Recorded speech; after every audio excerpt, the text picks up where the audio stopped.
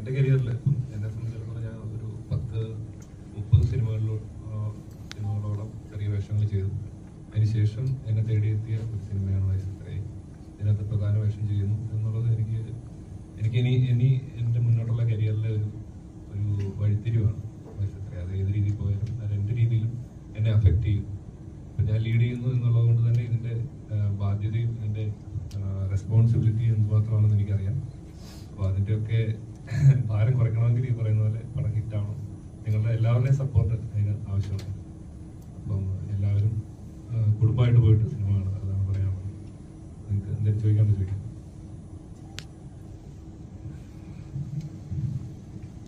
നമസ്കാരം. വയസ്സത്ര? മുപ്പത്തി. മാർച്ച് ഇരുപത്തി റിലീസാവുന്നു. നല്ല എന്റർടൈൻമെന്റ് പടം തന്നെ ഒരു സംശയമില്ല കാരണം കഥയും കഥാപാത്രങ്ങളൊക്കെ നമുക്ക് ചുറ്റുപാടും ഇല്ല തന്നെയാണ്. അപ്പോ ഏഹ്, നമുക്ക് നമ്മുടെ നാട്ടിൽ അനുഭവം ഉണ്ടല്ലോ വടകരയിൽ നിന്ന് ചിത്രീകരിച്ചെങ്കിലും ഓരോ നാട്ടിലും അല്ലെങ്കിൽ ഇത് കോമൺ ആയിട്ടാ തോന്നുന്നത്. അപ്പൊ അടിപൊളിയാണ്. എന്റർടൈൻമെന്റ് ഓരോ മോശം ഉണ്ടാവില്ല. രസം രസമുള്ള ഒരു സിനിമയാണ് അതിന്റെ ചിത്രീകരണത്തിന്റെ സമയത്ത് നമുക്ക് മനസ്സിലായിട്ടുണ്ട് ചില സിനിമ അങ്ങനെ ഉണ്ടല്ല. കണ്ടുകഴിഞ്ഞാൽ നമുക്ക് ഏറ്റവും മൂഡ് മനസ്സിലാവില്ല അപ്പം രസമുണ്ട്. എന്തായാലും അടിപൊളിയാണ്. എന്നാ എല്ലാം പിന്നെ അഭിനയിക്കുന്നവരൊക്കെ നല്ല കൂടുതൽ അടിപൊളിയാണ്. എല്ലാവരും ശാന്തപുള്ളിയെല്ലാം അതിഗംഭീരാട്ടാ അതെ അതെ. എന്റെ അയൽവാസി എന്റെ സുഹൃത്തുമായ ചിത്ര നമ്മൾ കാസർഗോഡാണ് അതുപോലെ കാര്യം. ഏഹ് വലിയൊരു സിനിമയിലെ നായികയായിട്ട് വരുന്നതാണ് അത്. പടത്ത് മെയ് പത്ത് ആ. അപ്പൊ എന്തായാലും നല്ല ടീം വർക്ക് പട്ട സിനിമയിൽ അഭിനയിക്കാൻ പറ്റി. വളരെ പ്രിയപ്പെട്ട മാധ്യമ സുഹൃത്തുക്കളെ നിങ്ങളെല്ലാ സപ്പോർട്ടും അതുപോലെ പ്രേക്ഷകരാണ് തീരുമാനിക്കുന്നത്. നമ്മൾ എന്തായാലും എന്ത് പറഞ്ഞാലും സ്നേഹം.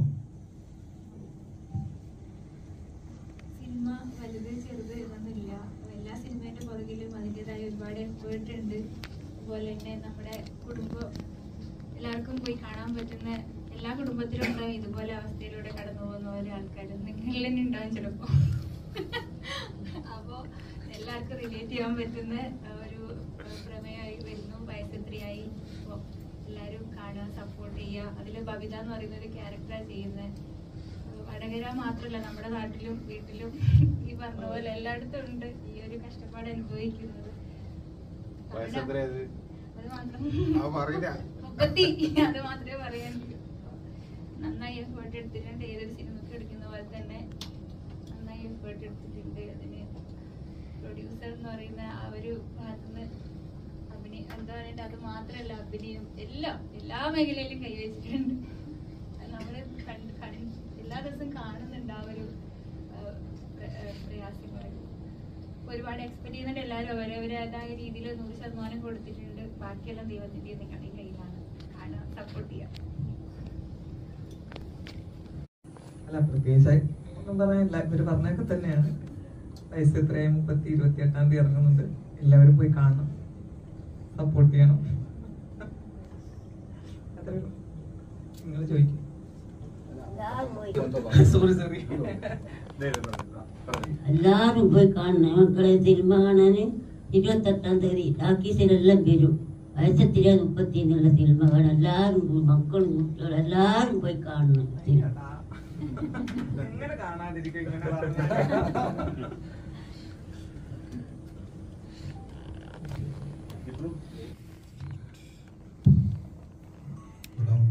എല്ലാവരുടെയും ഒരു പറ്റം.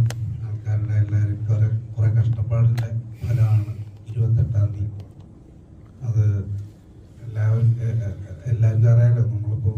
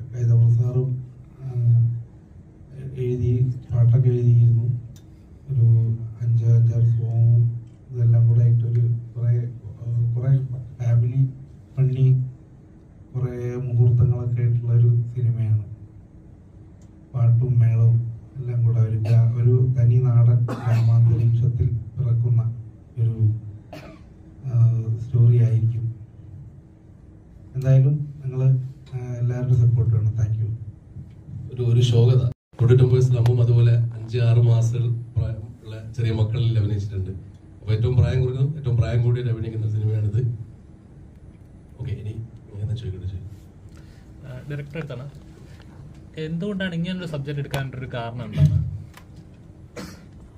അങ്ങനെ ചോദിച്ചാൽ ഇതിന്റെ കഥ ഞാൻ പറഞ്ഞല്ലോ സമകാലിക പ്രസക്തി ഈ കഥക്കുണ്ടല്ലോ ഈ പത്ത് മുപ്പത്തഞ്ച് വയസ്സായിട്ട് പെണ്ണ് കിട്ടാത്ത ആൾക്കാർ ഞാൻ പറഞ്ഞു നമ്മുടെ കേരളത്തിൽ അങ്ങോളം ഇങ്ങോളം നടക്കുന്ന ഒരു വിഷയമാണ്.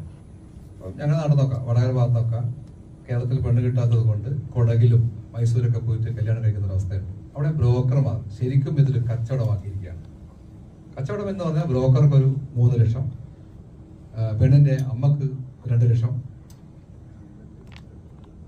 അപ്പൊ അങ്ങനെ ഒരു രീതിയിലോട്ട് പോകുന്നുണ്ട്. അപ്പൊ അതുകൊണ്ട് കേരളത്തിലെ നമ്മളൊരു വിഷയത്തിന്റെ അപ്പൊ അത്തരത്തിലൊരു സമകാലിക പ്രസക്തി തന്നെയാണ് നമ്മൾ ഉദ്ദേശിച്ചിട്ടുള്ളത്. അപ്പം അതുകൊണ്ടാണ് ഇങ്ങനത്തെ ഒരു കഥയെ തിരഞ്ഞെടുത്ത് മാത്രമല്ല നമ്മൾ ഒരു നർമ്മത്തിൽ ചാലിച്ചാണ് പറഞ്ഞിട്ടുള്ളത്. അപ്പം നോർമലി ശരിക്കും ഇങ്ങനത്തെ സബ്ജക്ട് കാരണം കഴിഞ്ഞ ഒരു സെൻസസ് ഉണ്ടായിരുന്നു. കേരളത്തിലെ ആൺകുട്ടികൾക്ക് പെണ്ണ് കിട്ടാനില്ല. കാരണം കാരണം ചോദിച്ചാൽ കൂടുതൽ പേര് പറയുന്നത് ഇൻഡിപെൻഡന്റ് ആവുക. അല്ലെങ്കിൽ ഒരു വിവാഹ ജീവിതം എന്ന് പറഞ്ഞാൽ അത്രയും സക്സസ്ഫുൾ ഒന്നുമല്ല അപ്പോൾ അവർക്ക് തോന്നുന്ന പോലെ അങ്ങനത്തെ ഒരു റിപ്പോർട്ടായിരുന്നു വന്നിരുന്നത്. ശരിക്കും അങ്ങനെയൊക്കെ അങ്ങനെയൊക്കെ പോലും എന്താ പറയുക വേറെ ഓപ്ഷൻസും ഉണ്ടല്ലോ. അപ്പോൾ അങ്ങനെയുള്ള സാഹചര്യത്തിൽ സൊസൈറ്റി ഇത്രയും വളർന്നുകൊണ്ടിരിക്കുന്ന സാഹചര്യത്തിൽ ഇതേപോലെ സബ്ജക്റ്റ് എത്രത്തോളം റെലവെന്റ് ആവുന്നു? പറഞ്ഞല്ലോ. സിനിമ എന്ന് പറയുന്നത് ഏതാണ് വിജയിക്കുക ഏത് വിജയിക്കില്ല എന്നും നമുക്ക് നേരത്തെ ഒരു പരിധിവരെ അല്ലാതെ പറയാൻ പറ്റില്ല. അങ്ങനെ ഉണ്ടല്ലോ നമുക്ക് എത്ര നല്ല കഥയായാലും ചിലപ്പോൾ അത് എന്താ പറയുക മാർക്കറ്റിങ്ങിന്റെ പ്രശ്നം കൊണ്ടോ മീഡിയ സപ്പോർട്ട് ഇല്ലാത്ത കൊണ്ടോ അങ്ങനെ സംഭവിക്കാറുണ്ട്. ഇത് ഞങ്ങളുടെ വിശ്വാസമാണ്. ഈ സിനിമ വിജയിക്കും എന്നുള്ളത് ഞങ്ങളുടെ ഒരു പൊതുവായിട്ടുള്ള വിശ്വാസമാണ്. ഇത്തരം കഥ തിരഞ്ഞെടുക്കാൻ അത് തന്നെയാണ് കാരണം. അമ്മൂമ്മയുടെ നമസ്കാരം. നമസ്കാരം പോയി കാണണേ. തീർച്ചയായും തീർച്ചയായും. എങ്ങനെ ഉണ്ടായിരുന്നു ആദ്യമായിട്ടല്ലേ ഒരു സിനിമയിൽ അഭിനയിക്കുന്നത്? ആദ്യമായിട്ടാ. എങ്ങനെ ഉണ്ടായിരുന്നു ഇവരൊക്കെ എങ്ങനെ ഉണ്ടായിരുന്നു ഇതെല്ലാം നല്ല സപ്പോർട്ടാ ഇൻപകയിൽ ഒരു കുട്ടീനെ കിട്ടായിട്ടല്ലേ? അതുകൊണ്ട് എല്ലാവർക്കും നല്ല ഇതുണ്ട്. എല്ലാ സപ്പോർട്ടുണ്ട് ഞങ്ങളെ സിനിമയെ പറ്റിയിട്ട്. അതുകൊണ്ടാ എല്ലാവരും പോയി കാണണം. ഒത്തിരി സങ്കടപ്പെട്ടു. ഞാൻ ഇതിനകത്ത് ഈ പടത്തിന്റെ പ്രൊമോഷൻ വണ്ടിയുടെ ഫ്ലാഗ് ഓഫ് മുത്തശ്ശിയാണ് നിർവഹിച്ചത് അപ്പോൾ മുത്തശ്ശി ഇന്നിപ്പോ പറഞ്ഞത് ഞാൻ ഏറ്റവും കൂടുതൽ പാർട്ടിക്ക് വേണ്ടിയാണ് കൊടി വീശിയത്. അതിനുശേഷം മോന്റെ സിനിമയ്ക്ക് വേണ്ടിയാണ് കൊടി വീശിയത്. പാർട്ടിക്ക് വേണ്ടിയിട്ടാണ് ഞാൻ കൊടി ഇപ്പൊ മോന്റെ സിനിമക്കും വേണ്ടിയിട്ട് കൊടി പണ്ടൊക്കെ നാടകത്തിൽ അഭിനയിച്ചിട്ടുണ്ടെന്ന് പറയാറുണ്ടായിരുന്നു. നാടകത്തിൽ അഭിനയിച്ചിട്ടുണ്ടോ? ഇല്ല നാടകത്തിൽ പോയിട്ട് കാണും പോയിട്ടുണ്ടാവുള്ളൂ അഭിനയം ഇഷ്ടമായിരുന്നു എല്ലാം ഇഷ്ടമായിരുന്നു നാടകത്തിലും പോയത് പേര് സിജുവാ. അതിന് വന്നെല്ലത്തിന് പോയി. ജയിച്ചിട്ട് പോയി ജയിച്ചിട്ട് കുഞ്ഞന്തി ഇത്തിരി ആയല്ലേ പ്രശാന്ത് ഏട്ടാ ഈ സിനിമയിലെ കഥാപാത്രത്തിന്റെ പ്രത്യേകത പറഞ്ഞു കണ്ടു കിട്ടാനില്ലാത്ത സ്ട്രഗിൾ ചെയ്യുന്ന ഒരു യുവാവിന്റെ സീരീസ് എന്ന് പറയും. ശരിക്കും ഇങ്ങനെ ഒരു കഥാപാത്രം കേട്ട് അപ്പൊ മനസ്സിൽ എന്താണ് ഫസ്റ്റ് വന്നിരുന്നത് അതായത് കഥയുടെ കഥാപാത്രം കേട്ടപ്പോൾ ഇല്ല ഫസ്റ്റ് എനിക്ക് ആദ്യം ഇതൊരു ഭയങ്കര സില്ലി ആയിട്ടുള്ള ഒരു കാര്യമായിട്ടാണ് തോന്നി. ഇങ്ങനെ പറഞ്ഞിരുന്നത് എനിക്ക് എനിക്ക് പേഴ്സണലി അറിയത്തില്ലാത്തൊരു ഒരു സോഷ്യൽ സിറ്റുവേഷനും അല്ലെങ്കിൽ ഒരു ഇമോഷണൽ ഇത്.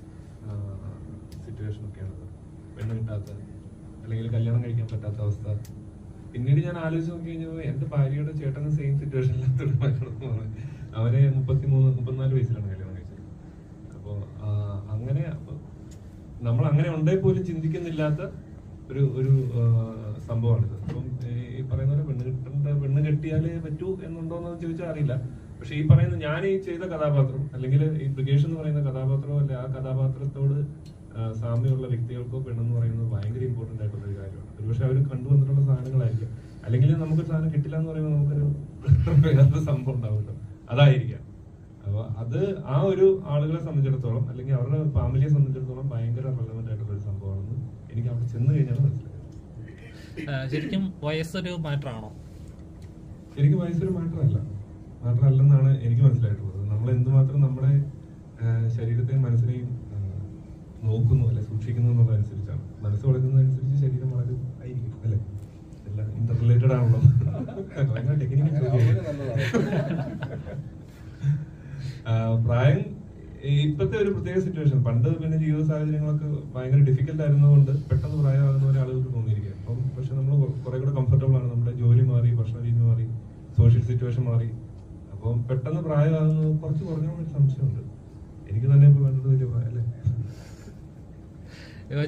ചേട്ടനെ കുറിച്ച് തന്നെ മലയാള സിനിമയുടെ മറ്റൊരു ഭാഗ്വാസിൽ എന്നാണ് ആളുകൾ പറയുന്നത് സോഷ്യൽ മീഡിയയിലൊക്കെ ആണെങ്കിൽ. ശരിക്കും ആ കമന്റ്സ് ഒക്കെ കേൾക്കുമ്പോൾ എന്താ എന്താ എന്താ പറയാ എന്താ കളിയാക്കുന്ന പോലെയാണോ ഫീൽ ചെയ്യുന്നത് അത് അഭിമാനമാണോ തോന്നുന്നത് അല്ല എനിക്ക് തോന്നുന്നത് അങ്ങനെ കളിയാക്കാൻ വേണ്ടി ആയിരിക്കില്ലായിരിക്കും പറയുന്നതെന്നാണ് അങ്ങനെയാണല്ലോ നമ്മൾ വിചാരിക്കേണ്ടത് പക്ഷെ അദ്ദേഹമായിട്ട് കമ്പയർ ചെയ്യാനായിട്ടുള്ള ഒരു ക്വാളിറ്റി എനിക്കുണ്ടെന്ന് എനിക്ക് തോന്നുന്നില്ല. അദ്ദേഹം ഏതോ റേഞ്ചിൽ നിൽക്കുന്ന ഒരു ആക്ടറാണ് അപ്പൊ അദ്ദേഹത്തിനെ പോലെയൊക്കെ അഭിനയിക്കാൻ പറ്റിയാൽ അതൊരു വലിയ ഭാഗ്യമാണ്. ആ റേഞ്ചിൽ അല്ലെങ്കിൽ അയാൾ ഇമോഷൻ എക്സ്പ്രസ് ചെയ്യുന്ന രീതിയിൽ അല്ലെങ്കിൽ അയാൾ ഒരു ക്യാരക്ടർ കൺസീവ് ചെയ്യുന്ന രീതിയിൽ ഞാൻ കണ്ടിട്ടുണ്ട്. മറ്റേ മാലിക്കിനകത്ത്.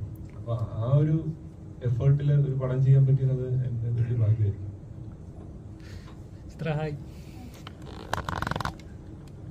മലയാളികളുടെ സുമലത ടീച്ചർ എന്നാണ് അപ്പോൾ ഫസ്റ്റ് ആദ്യ സിനിമ തന്നെ ഇത്രത്തോളം ഒരു സിഗ്നേച്ചർ തന്നൊരു സിനിമ അപ്പോൾ ഇപ്പോൾ ഇപ്പോഴും മലയാളികൾ അങ്ങനെയാണ് തിരിച്ചറിയുന്നത്.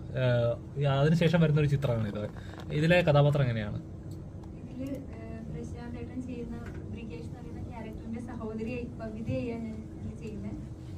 സാധാരണ ഒരു കുടുംബത്തിലെ കാണാൻ പറ്റുന്ന ഒരു സഹോദരി. എല്ലാ ഇമോഷൻസും ഉള്ള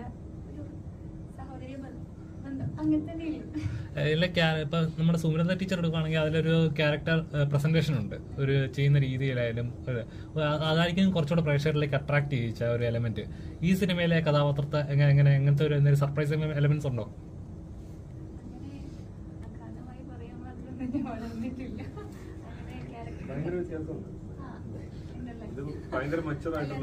ഞാൻ ഈ പറയാൻ കാരണം ഈ സുമലത എന്ന് പറയുന്ന ക്യാരക്ടറും എന്നിൽ ഇങ്ങനെ ആൾക്കാർ സ്വീകരിക്കും. ഇതിങ്ങനെ ഒരു കോമഡി ജോണറാണെന്ന് പോലും ചെയ്യുന്ന സമയത്ത് എനിക്ക് തിരിയുന്നുണ്ട്. മനസ്സിലായിട്ടില്ല.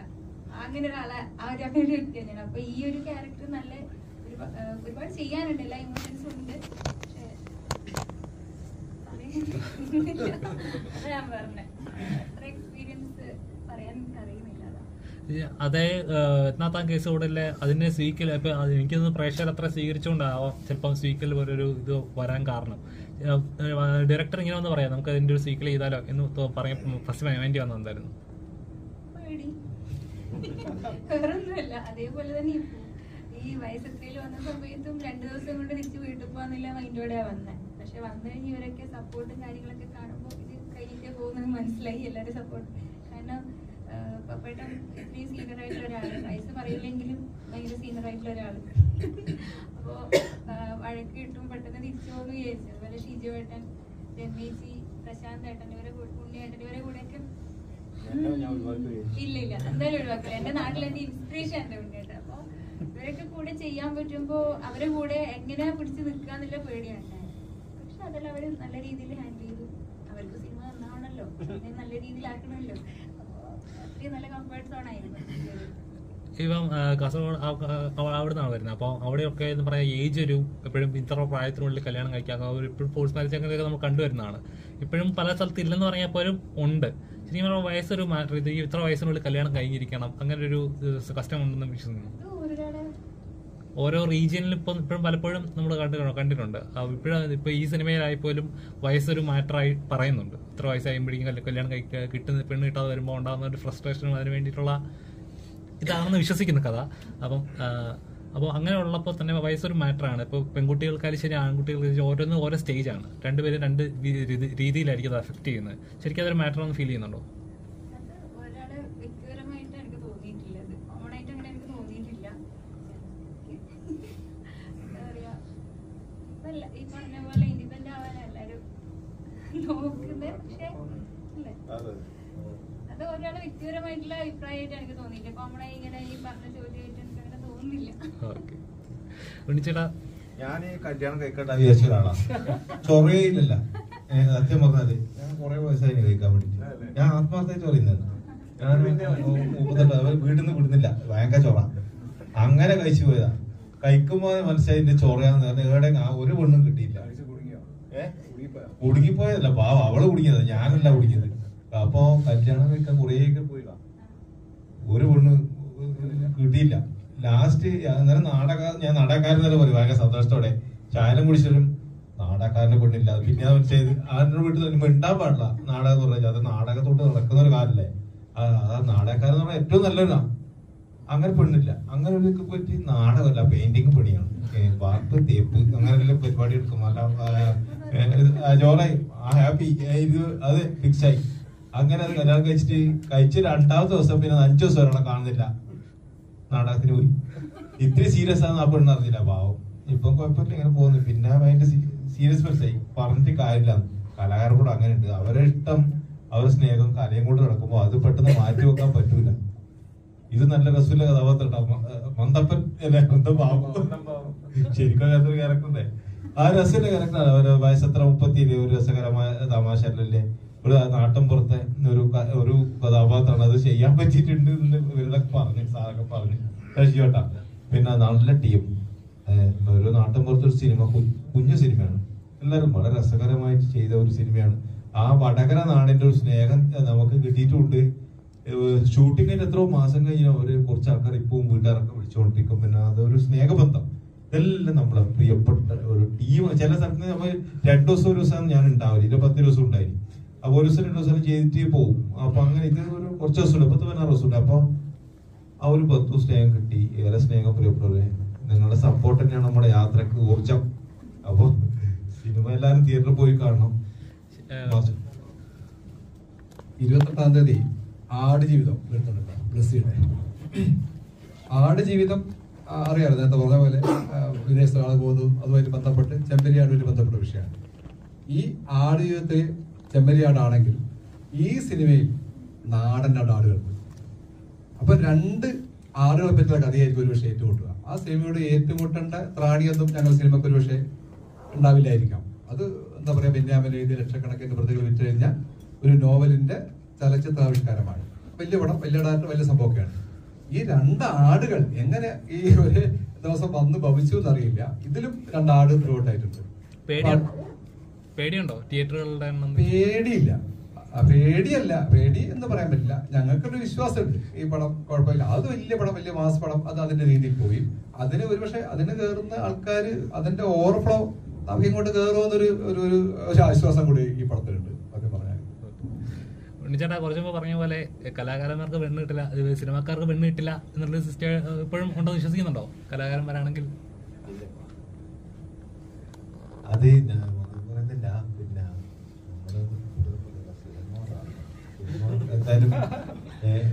മാർച്ച് അല്ലേ നമ്മൾ ഇരുപത്തെട്ട് മാർച്ച് ഇരുപത്തെട്ട് ഒരു നാടൻ നല്ല രസമില്ല പടമായിരുന്നു അതൊരു സംശയമില്ല. മറ്റുള്ളൊരു പടത്തിനോട് കമ്പയർ ചെയ്യാൻ പറ്റില്ല.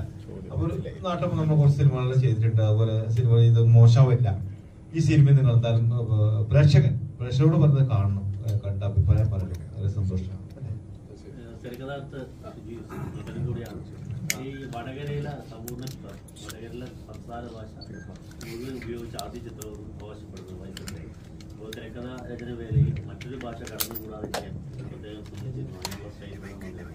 പൂർണമായി വടകരയിൽ തന്നെ ആ ഭാഷ വടകരയിലെ ഭാഷ. കേരളത്തിൽ ഭാഷയുള്ളെങ്കിലും ആ സ്ലാങ് പിടിക്കാൻ ഞാൻ ഒറ്റക്കല്ല തിരക്കുന്നത്. തിരക്കത് എന്റെ ഇവിടെ ഫൈസൽ അബ്ദുള്ള തൊട്ട് ഫാറൂഖ് ഫാറൂഖ് സ്കൂളിൽ ഒരു മാഷ് പഠിക്കും ഫൈസൽ മാഷ്. പിന്നെ ഞാനിപ്പോൾ ഇങ്ങോട്ട് വർത്തമാനം ഭയങ്കര കഷ്ടപ്പെട്ട് വർത്തമാനം പറഞ്ഞു അച്ചടി ഭാഷ പറഞ്ഞിട്ട് ഞാൻ എന്റെ ഭാഷയെ പറയാം. ഞങ്ങൾ വടകരയുള്ള ആൾക്കാർക്ക് അറിയായത് ഞാൻ നേരത്തെ പറഞ്ഞില്ല ഇതൊരു പെണ്ണ് ടൈറ്റ് ഓടുന്ന ഒരു കൂട്ടം ചെറുപ്പക്കാർക്ക് ഉപരി ബ്രിഗേഷ് എന്ന് പറയുന്ന വാണമ്പറമ്പിൽ ബ്രിഗേഷ് എന്ന് പറയുന്ന പ്രശാന്ത് ചെയ്യുന്ന ഒരാളുടെ ത്രൂഔട്ട് ലൈഫാണ് ഇത് കാണിക്കുന്നത്. അപ്പോൾ അതിൽ എല്ലാ വീട്ടിലുള്ളത് പോലെ എല്ലാ വീട്ടിലും പോലെ കാര്യങ്ങളാണ് ഇതിലുള്ളത്. ചോദ്യം വളരെ ഭാഷയാണ്. എല്ലാത്തിലും എല്ലാവരും ഇതിൽ വളരെ സ്ലാങ്ങാണ് സംസാരിക്കുന്നത്. എല്ലാവരും.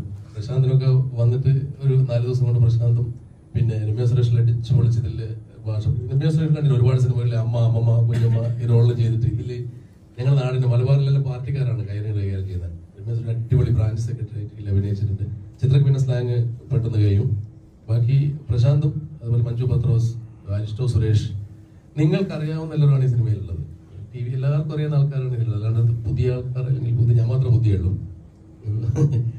അപ്പോൾ പിന്നെ വടകര സ്ലാങ്ങിൽ സംസാരിക്കുന്ന ഒരു ഞങ്ങൾ ഇനിയും ഫ്യൂച്ചറിൽ പടം എടുക്കുകയാണെങ്കിൽ കൂടെ എല്ലാം വടകരയായിരിക്കും. വേണിൻ വടകര. കാരണം വടകരക്ക് അത്രയും കഥ പറയാനുണ്ട്.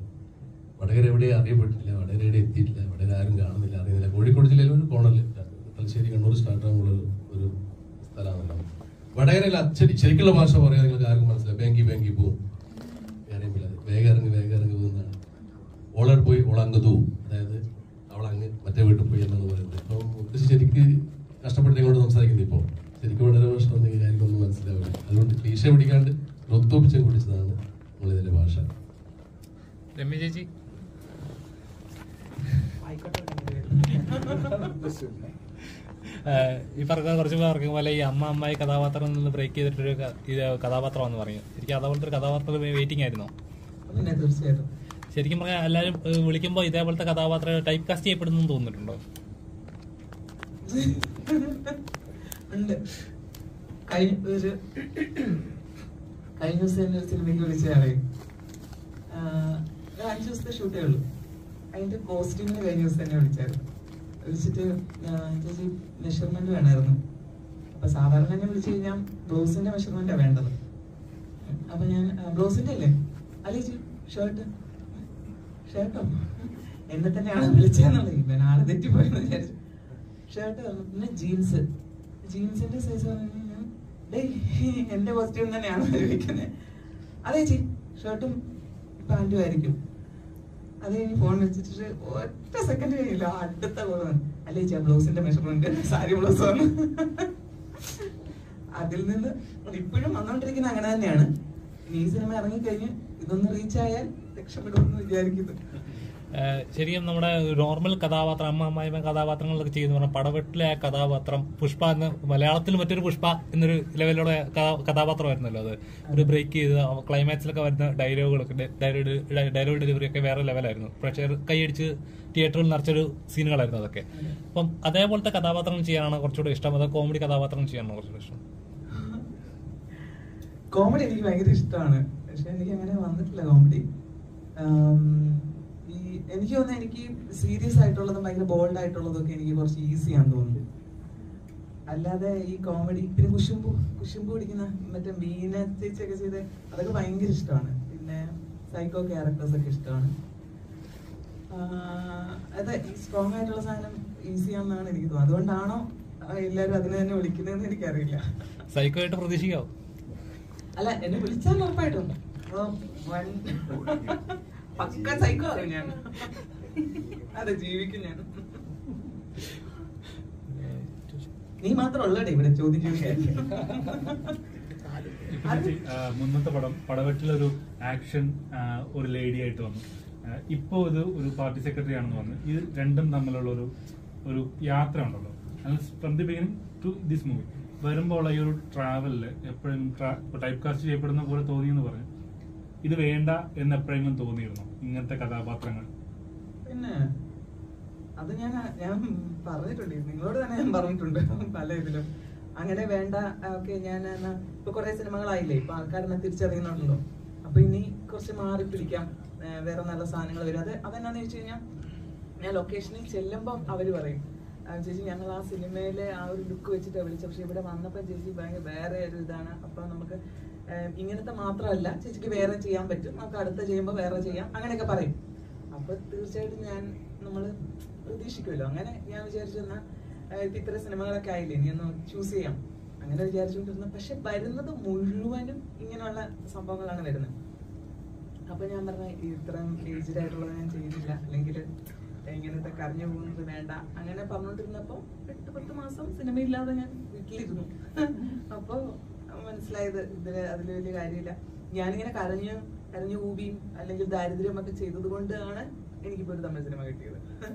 അപ്പോൾ എനിക്ക് മനസ്സിലായത് വരുന്ന ക്യാരക്ടേഴ്സ് എല്ലാം ചെയ്യുക. അത് ടൈപ്പ് കാസ്റ്റ് ആവോ എന്തോ കല്ല് വലിയ അതൊന്നും ഞാൻ മൈൻഡ് ചെയ്യുന്നില്ല വരുന്നത് ചെയ്യുക. ആർക്കെങ്കിലും ഇപ്പം ദേ പ്രശാന്തൊക്കെ പടങ്ങളൊക്കെ ചെയ്യാനുള്ള അങ്ങനെയൊക്കെ ഉള്ള പുതിയ പുതിയ ആൾക്കാർ വരുമ്പോൾ അവർക്ക് മാറി ചിന്തിക്കാം. അല്ലെങ്കിൽ ഇവർക്ക് ഇങ്ങനത്തെ കൊടുത്താൽ അവർ ചെയ്യാൻ പറ്റും. അല്ലെങ്കിൽ അതിൽ അവർ പൊളിയായിരിക്കും. അങ്ങനെ തോന്നുന്ന ആരെങ്കിലും ഒക്കെ ഉണ്ടെങ്കിൽ എപ്പോഴും തലവരെ മാറുന്നതെന്ന് പറയാൻ പറ്റത്തില്ല ഇപ്പോ പറഞ്ഞു നേരത്തെ പറഞ്ഞു ഞാനിത് അനുഭവിച്ചിട്ടില്ലാത്ത ഒരു ഒരു അവസ്ഥയാണ്. യഥാർത്ഥത്തിൽ എപ്പോഴെങ്കിലും അല്ലെങ്കിൽ മറ്റാരെങ്കിലും ഇപ്പൊ പറഞ്ഞില്ല ഭാര്യയുടെ സഹോദരൻ അനുഭവിച്ചു ഈ ഒരു അവസ്ഥ. ഇല്ല അത് ഭയങ്കര കഷ്ടപ്പാടായിരുന്നു. കാരണം എന്റെ ഒരു കൺസെപ്റ്റ് അങ്ങനെയായിരുന്നു ഒരു ഫാമിലി വൈഫ് കുട്ടികൾ. അപ്പൊ അതിനകത്ത് നമ്മൾ കണ്ടു ശീലിച്ചിട്ടുള്ള അങ്ങനെയാണല്ലോ ഫാമിലിയാണ് നമ്മുടെ ബേസ് നമ്മൾ തിരിച്ചു തരേണ്ട സ്ഥലം അതാണ്. അങ്ങനെയൊക്കെ അങ്ങനെയൊക്കെയുള്ള ഒരു കൺസെപ്റ്റ് ആയിരുന്നു. പക്ഷെ ഇതിനകത്ത് പിന്നീട് കല്യാണം ഇപ്പൊ ഈ നമ്മൾ മുമ്പ് തമാശക്ക് പറഞ്ഞ പോലെ വിശക്കുന്നവന് അറിയില്ല കഴിച്ചവന്റെ അവസ്ഥ. അല്ലെങ്കിൽ കഴിച്ചവന് വിശക്കുന്നവന്റെ അവസ്ഥ അറിയത്തില്ല. ആ ഒരു സംഭവം എല്ലാ കാര്യത്തിലും ഉണ്ടെന്ന് എനിക്ക് തോന്നുന്നു. ഫാമിലിയിലാണെങ്കിലും ഇപ്പൊ നമുക്ക് ഞാൻ അതുകൊണ്ട് മുമ്പ് ഇന്റർവ്യൂവിൽ പറഞ്ഞിരുന്നു കല്യാണം കഴിക്കുക എന്നുള്ളത് ഒരു മസ്റ്റ് ഒന്നുമല്ല. മസ്റ്റായിട്ട് കല്യാണം കഴിക്കണമെന്നല്ല. ഇപ്പൊ നമുക്ക് അല്ലാതെ ഒരുപാട് ഓപ്ഷൻസ് ഉണ്ട്. അങ്ങനെയൊക്കെ ജീവിച്ച ഒരു അഞ്ചാറ് വർഷം കഴിഞ്ഞിട്ട് നിങ്ങൾക്ക് അത് പരസ്പരം ഓക്കെയാണ് മനസ്സിലാക്കുന്നുണ്ടെന്നൊക്കെ തോന്നിക്കഴിഞ്ഞെങ്കിൽ മാത്രം വേണമെങ്കിൽ നിയമപരമായിട്ട് നിങ്ങൾക്ക് ഒരു ഉറപ്പ് വേണമെന്നുണ്ടെങ്കിൽ കല്യാണം കഴിക്കാം. അപ്പൊ അങ്ങനെ അഞ്ചാറ് വർഷം കഴിഞ്ഞ് നിങ്ങൾക്ക് മനസ്സിലാകുന്നുണ്ടെങ്കിൽ പിന്നെ നിയമപരമായ ഒരു സപ്പോർട്ട് നിങ്ങൾക്ക് ആവശ്യമില്ല എന്നതാണ് അപ്പൊ അങ്ങനെ നോക്കുമ്പോൾ മൊത്തത്തിൽ കല്യാണം എന്ന് പറയുന്നതല്ലേ? ഒരു അനാവശ്യമാണ് ആ, ഇപ്പൊ ആദ്യത്തെ ചിത്രമാണല്ലോ നായകനായിട്ട് ഫസ്റ്റ് മൂവി. അപ്പോൾ അപ്പോ എങ്ങനെ ഉണ്ടായിരുന്നു ഈ ഒരു എക്സ്പീരിയൻസ് എങ്ങനെ ഉണ്ടായിരുന്നു ഈ നായകനായിട്ട് അപ്പൊ അത് എനിക്കൊരു ഭയങ്കര ഭാഗ്യമാണ്. അതായത് എനിക്ക് ഞാൻ പറഞ്ഞില്ല ആദ്യം എനിക്കിത് വലിയ ധാരണയില്ലാത്ത ഒരു സംഭവമായിരുന്നു. അപ്പൊ അവിടെ ചെന്ന് ആ സ്ക്രിപ്റ്റ് ചെയ്യുന്നതിനകത്തൂടെയാണ് ഞാൻ ആ കഥാപാത്രമാകുന്നത്. ആ സ്ക്രിപ്റ്റ് നമ്മൾ അങ്ങനെ ഒരു ഓർഡറിൽ ഷൂട്ട് ചെയ്തതുകൊണ്ട് നമുക്കത് കറക്റ്റ് ആയിട്ട് ആ ഇമോഷൻ പിടിച്ച് അങ്ങനെ അതിന്റെ ക്ലൈമാക്സിലേക്ക് കൊണ്ടെത്തിക്കാൻ പറ്റിയത് ഒരു ഭയങ്കര വെറൈറ്റി എക്സ്പീരിയൻസ് ആയിരുന്നു. ആ എക്സ്പീരിയൻസിനോട് നൂറ് ശതമാനം നീതി എനിക്ക് ഭയങ്കര സന്തോഷം തോന്നുന്നത് രമി കിട്ടുമെന്ന് പ്രതീക്ഷിച്ചിട്ട് അല്ല സിനിമയിൽ സജീവമായതിനു ശേഷം ഇല്ല. പക്ഷെ ഞാൻ ഒരു ഓഡിഷന് പോയിട്ടുണ്ട്. അത് ഞാൻ ഇങ്ങനെ കിട്ടും കിട്ടും എന്ന് വിചാരിച്ച ശേഷം കിട്ടിയില്ല. അല്ലാതെ എന്നെ പറ എന്നെ വിളിച്ചിട്ടുള്ളതെല്ലാം എനിക്ക് കിട്ടിയിട്ടുണ്ട്. ഇപ്പോൾ നോർമലി ഒരു കഥാപാത്രങ്ങൾ ചെയ്യുന്ന സമയത്ത് ഇപ്പോൾ ഏതൊരു ആർട്ടിസ്റ്റ് ശ്രമിക്കുന്ന ഒരു ചെയ്ത കഥാപാത്രങ്ങൾ സാമ്യം തോന്നാത്ത ലെവലിൽ അല്ലെങ്കിൽ ഇതുവരെ കമ്പാരിസൺ തോന്നാത്ത ലെവലിൽ ചെയ്യാൻ എപ്പോഴും ഒരു പ്രിപ്പറേഷൻ ഉണ്ടാവുമല്ലോ. അപ്പോൾ ഈ സിനിമ ഇന്ന് കഥാപാത്രം കുറച്ചുകൂടി ഡിഫറെന്റ് ആണെന്ന് പറയുന്നത്. ഇതിന് എത്രത്തോളം പ്രിപ്പയർ ചെയ്യേണ്ടി വന്നു? ഒരു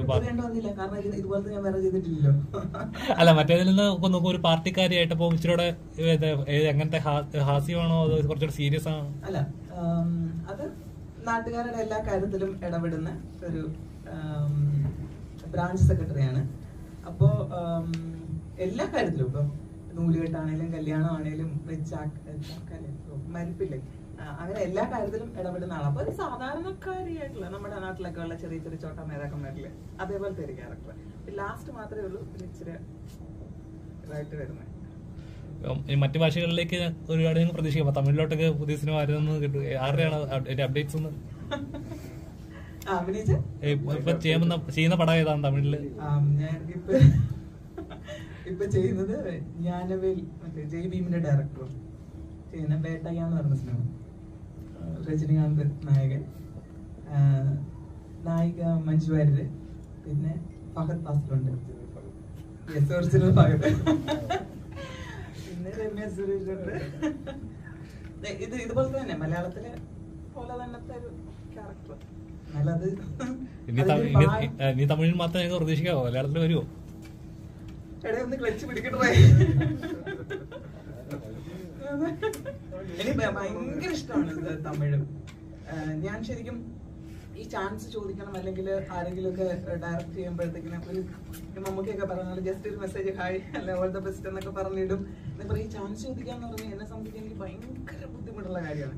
ഓഡിഷൻ എത്ര വേണമെങ്കിലും ഞാൻ അറ്റൻഡ് ചെയ്യും. അത് പക്ഷെ എനിക്ക് അതിൽ എനിക്കൊരു ഇതുമില്ല. അതിന്റെ അപ്ഡേറ്റ് ചോദിക്കുന്നതിനൊന്നും എനിക്കൊരു മടിയില്ല. പക്ഷെ ചാൻസ് ചോദിക്കാനുള്ള ഭയങ്കര ബുദ്ധിമുട്ടാണ്. പക്ഷെ ഇപ്പോഴുള്ള കാര്യത്തിൽ മനസ്സിലായത് ശരിക്കും പറഞ്ഞാൽ നമ്മളൊന്ന് ഓർമ്മപ്പെടുത്തണം. നമ്മളിങ്ങനെ എപ്പോഴും ഓർമ്മിക്കില്ലേ? ഇത് കാസ്റ്റിംഗ് ഡയറക്ടേഴ്സ് തന്നെ പറയുന്നത് അവരെല്ലാം ഡിസ്കസ് ചെയ്യുമ്പോഴത്തേക്കിനും നമുക്ക് അല്ലാത്തപ്പം ഒത്തിരി പേരെയൊക്കെ ഓർമ്മ വരും. പക്ഷെ ഇത് ഇത് ചെയ്യുന്ന സമയത്ത് നമുക്ക് വരില്ല. പക്ഷെ അതേസമയം ആരെയോ കാസ്റ്റ് ചെയ്ത കാര്യം തലേന്നായിരുന്നു അവരുടെ ഒരു മെസ്സേജ് കണ്ടത്. പെട്ടെന്ന് അവരെ ഓർമ്മ വന്നു അങ്ങനെ. അപ്പൊ ഞാനിതുപോലെ എനിക്ക് നമ്മുടെ രംഗനാഥ് രവി ചേർന്നു പിന്നെ മറ്റേ നമ്മുടെ ഗോവിന്ദ് വസന്തയൊക്കെ ആയിട്ട് അത്യാവശ്യം നല്ലതായിട്ട്. അപ്പൊ ഞാൻ ആദ്യമായിട്ട് ഞാൻ ചാൻസ് ചോദിക്കുന്നത് അവരോടാണ്. എന്തിനാന്ന് വെച്ചാൽ തമിഴിലോട്ട്. മലയാളത്തിലല്ല തമിഴിൽ. അപ്പൊ ഞാൻ പറഞ്ഞു. ഇങ്ങനെ എന്തെങ്കിലും ചോദിക്കാൻ? ഞാൻ പറഞ്ഞ വല്ല കുഴപ്പമുണ്ടോ? അല്ല അപ്പൊ ഞാനിങ്ങനെ ചോദിച്ചു തമിഴിൽ അവർ കൂടുതലും തമിഴാണല്ലോ ചെയ്യുന്നത്. അപ്പൊ അങ്ങനെ എന്തെങ്കിലും എനിക്ക് പറ്റിയ സാധനം വരുവാണെങ്കിൽ അന്ന് പറയാനുള്ള സ്വാതന്ത്ര്യം നിങ്ങൾക്കുണ്ടെങ്കിൽ പറഞ്ഞേക്കണേന്ന് പറഞ്ഞു. അതിപ്പോ തീർച്ചയായിട്ടും പറയാന്ന് പറഞ്ഞു. പക്ഷെ അവരോട് പറഞ്ഞ് അവർ പറഞ്ഞിട്ടില്ല കേട്ടോ. അവരോട് പറഞ്ഞ് ഒരാഴ്ച കഴിഞ്ഞപ്പോഴാണ് ഇങ്ങനെ ഈ പുള്ളിക്കാരൻ ഈ വേട്ടയാന്ന് പറഞ്ഞ സിനിമയ്ക്ക് വിളിക്കണം എന്റെ വെള്ളരിപ്പട്ടണം അങ്ങനെ ഏതോ ഒരു സിനിമ രജനീകാന്തുമായിട്ട് സംസാരിക്കാനൊക്കെ അവസരം? സാറുമായിട്ട്. സത്യം പറഞ്ഞാൽ രജനീകാന്ത് സാറ് വന്ന് വന്നിങ്ങനെ നിൽക്കുവാണ് ഞാനപ്പം അപ്പുറത്തെ മഞ്ജു ചേച്ചിയും പകതും അവരും വർത്താനം പറഞ്ഞിരിക്കുന്നത് ഞാനിങ്ങനെ നടന്ന് അവരുടെ ഫ്രണ്ടിലോട്ട് വന്നു നമ്മളെ അപ്പ അമ്മ നടിക്കുന്ന അവങ്കിലെല്ലാം വാങ്ങ എന്ന് പറഞ്ഞപ്പോ ഞങ്ങളോട് ചെന്ന്. അപ്പോ രജനാഥ് സാർ ഞാൻ വണക്കം സാർ. വണക്കം എന്ന് പറഞ്ഞു. എനിക്ക് പുള്ളിക്കാരനെ കണ്ട എന്റെ ഒരു എക്സൈറ്റ്മെന്റ് അപ്പുറത്തെ മഞ്ജു ചേച്ചി പകർന്നു നിൽക്കുന്നത് നമ്മുടെ വീട്ടിലെ നമ്മുടെ ആൾക്കാര്. ഞാൻ ഒരൊറ്റ ചാട്ടായിരുന്നു അവരുടെ അടുത്തോട്ട്. സംസാരിക്കാൻ അങ്ങനെ സംസാരിക്കാൻ. ഇതുവരെ ഞാൻ സംസാരിച്ചില്ല ഒന്നാമത്തെ കാര്യം പുള്ളിക്കാരൻ ഇരിക്കുമ്പോൾ നമ്മളിപ്പോ ഇവിടെ കാണുന്ന സംസാരം അവിടെ നിന്ന് സംസാരിക്കുന്നത് പുള്ളി ഇങ്ങനെ ഇങ്ങനെ ഭയങ്കര സ്ട്രെയിൻ ചെയ്തൊക്കെ പറയുന്ന പോലെ അല്ലെങ്കിൽ ബുദ്ധിമുട്ടുള്ള പോലെ എനിക്ക് തോന്നിയിട്ടുണ്ട്. എഴുന്നേറ്റ് നിന്നിട്ട് ഇങ്ങനെയൊക്കെ തിരിഞ്ഞു. അപ്പൊ ഞാൻ എന്റെ വിചാരമായിരുന്നു നമ്മൾ ബുദ്ധിമുട്ടിക്കണ്ട. അതുകൊണ്ട് ഇതുവരെ വേണ്ടിയിട്ടില്ല ഇപ്പൊ അടുത്ത ഇരുപത്തി ആറാം തീയതി ഞാൻ പോകുന്നുണ്ട്. അതിന്റെ ബാക്കി ഷൂട്ടിന് അപ്പോഴും വേണം എന്തെങ്കിലും ഒന്ന് സംസാരിക്കാൻ.